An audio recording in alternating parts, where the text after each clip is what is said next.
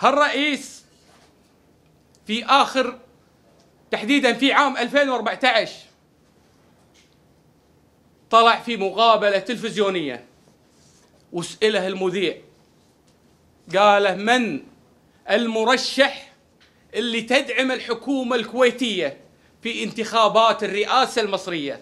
فكان جواب الرئيس جدا جميل. قال مرشح الكويت من يدعمه الشعب المصري.